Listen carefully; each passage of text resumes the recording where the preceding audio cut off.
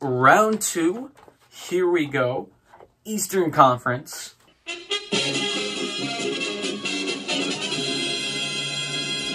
Uh, Boston and Tampa Bay. The toughest series for me to pick of the round two matchups. Uh, season series, Tampa Bay 3-1 and 0. Boston 1-2 and 1. Interesting. Very interesting. Uh, look at the stats. Goals for uh, Tampa Bay, I want to correct myself from earlier in the video, was the highest goals per game in the league. Washington, I believe, two. Goals against uh, Tampa Bay, fairly decent. Uh, actually, pretty good. And Boston, the best. Uh, power play, both fantastic. Penalty kill, both pretty good. Uh, Boston, very good. So not both fair. What are you saying, Tom? Anyway, it's interesting uh, that the season series went the way it did. Uh, makes it a lot more interesting because my first instinct would be just to uh, carry on with my original prediction, which was Boston. In I don't think I picked a games uh, for this one, but Tampa Bay makes it very interesting with their uh, very good season series against Boston. Oh, I'm gonna stick with Boston. I'm to say it's six or seven. I think the deciding factor, both teams, star power, fantastic, extremely deep. Uh, blue line's very good. I think the goaltending, it's Rask, little little bit uh, better playoff history. Vasilevskiy very early on. Uh, he could put last year behind him. That would be a fantastic storyline if he did. Ah, but I, I just that's that's that's the uh, the thing that gets Boston over the edge for me. Tuukka Rask having a fantastic season. Tuukka Rask had a fantastic playoff last year. He's a good playoff goalie. I that's the edge. That's the edge right there. There's that's it. So yeah, Boston and we'll call it six. All right. Philly and Carolina, a very fun series. Uh, let's right from the get-go, both teams would be coming out of the series tired. Uh, I predicted seven for each of their first round series, I think. And Carolina and Philly, that's a fun matchup. It avoids the played out, Wash uh, not played out, but you know, we've seen a lot of Washington, Pittsburgh. So it's fun to get uh, the other Metro teams, you know, really going uh, as playoff contenders. Carolina, uh, as we talked about earlier, very good power uh, penalty kill, good power play um, Philly. Uh, respectable in both areas as well. Goals against, slight edge Philly. Goals for, eh, slight edge Philly. But Philly, uh, hotter team. Uh, neither team has advantage on rest. Um, so there's that. Carolina mm, struggled for parts of this year. I'm not a big fan of um, their their goaltending it worries me. Uh, it worried me in the first round, but I think Wash, you never, like, I, I didn't know what to do with Samsonov. Uh, I'm pretty sure Holtby would would get an opportunity to start at the beginning. Well, I guess it depended on the season, kept going. But um, here, Philly's got an edge in goal. I think Carter Hart is playing fantastic. Otherwise, uh, scoring, very close. Defense very close. It's another series where I think the goaltending, uh, just give it to Philly by the slimmest of margins in there. Uh, both teams have star power. Uh, Sebastian Aho, uh, I don't know if you've heard of him. He's fantastic. Uh, and he needs to get more recognition as a star in this league because he's fantastic. And he scores, and he sets up, and he's a great skater, and a lot of things. Svechnikov on that top line with him. Yeah, they're pretty good, and they're really well coached. Everybody knows everybody would run through a wall for uh, Rod Brind'Amour. Um, so, yeah, that's interesting. Philly, having gone through a coaching change, really responded well. The special teams do lean Carolina. This is another really, really, really tight series. I'm going to go with the hot team on this one. I'm going to go with Philly. Even with the layoff, they just felt like they got right. They got good, as gamers would say. You know, so yeah, I'm going to give it to Philly. Very close. I'm going to say seven again.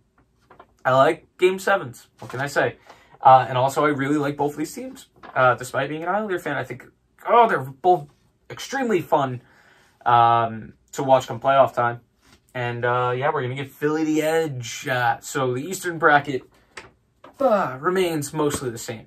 Uh, actually, yeah, mostly. Carolina getting out of the first round is the only difference this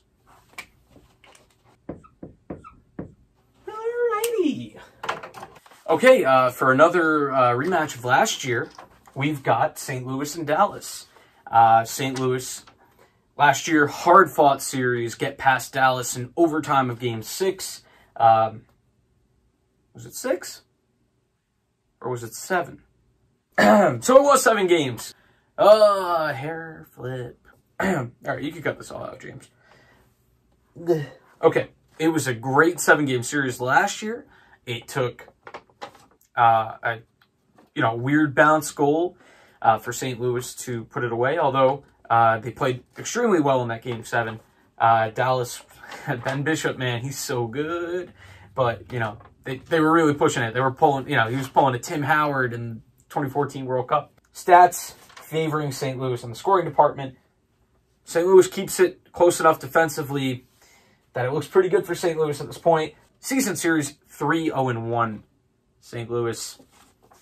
Um, penalty kill doesn't kill St. Louis because for some reason Dallas is very close to them too. Power play edge St. Louis.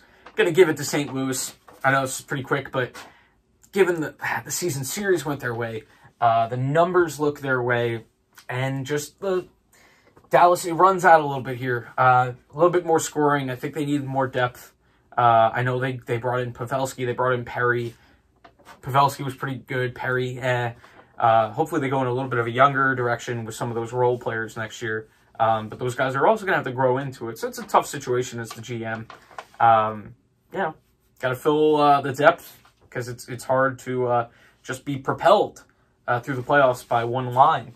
And um, yeah, uh, St. Louis deeper goaltending is very very close. I'm going to maybe give we'll call it a complete even uh, goaltending. Offense, St. Louis. Defense, slight to Dallas. Yeah, we're going to give this one to St. Louis. Uh, a little bit deeper. Uh, Dallas. This is tough because, like I said earlier, man, they're one of those teams you're like, that's a tough out. You know, you know they will go out. It's just a matter of how hard they'll push. And they push very hard, but give it to St. Louis in six this time around.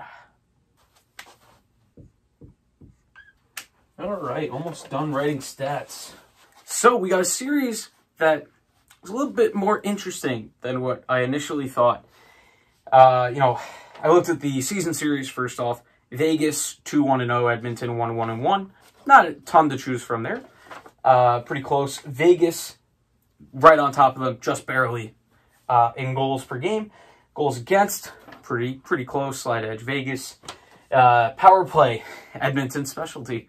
Uh, and penalty kill. Now, this is where, so initially my first thoughts, oh yeah, Vegas. I'm very high on Vegas. Had them picked for the cup coming into the, the year. Uh, so I'm like, yeah, yeah, Vegas.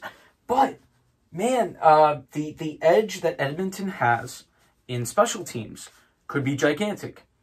And I'm sorry, Vegas, that would be excruciating after the special teams let them down last year uh, against San Jose. And the goaltending for, you know, your first thought is it's Fleury and it's uh, Lehner versus Koskinen. But Edmonton's done a good job of doing what the Islanders wish they could have done, which is insulate the goalie a little bit with how well the defense has played. And, oh man, uh, I think the PK catches up to Vegas in this one. And without Gallant there, I don't trust DeBoer to make the, the, the playoff adjustments. Maybe, maybe though, you could argue that having coached against Vegas and having taken advantage of the the Vegas penalty kill last year, maybe he could find a way to resurrect it in this year's playoffs. Um, wasn't a great start, as you can see by the stat, uh, in the regular season for him.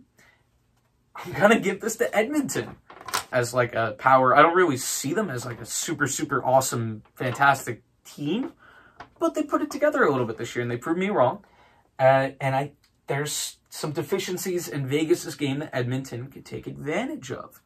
Now you could also counter with uh, Mark Stone could you know amazing defensive forward, shut down McDavid maybe. That would be a matchup to watch. That'd be a lot of fun. This would be a great series. Pacific Division Showdown. Hopefully it becomes, it's hard to become a rivalry. Not really much of a regional thing, but we're going to go with Edmonton. Yeah, Connor McDavid, first time in the conference finals. Yeah, let's go. And also, we're going to give it in six, maybe seven if Vegas stays out of the penalty box. Round three. All right. We're going to stay in the West to start the conference finals. Got St. Louis and Edmonton. Not really the uh, the first final I think a lot of people would pick. Think St. Louis will be there for a lot of brackets.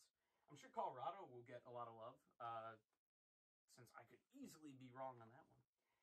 Um,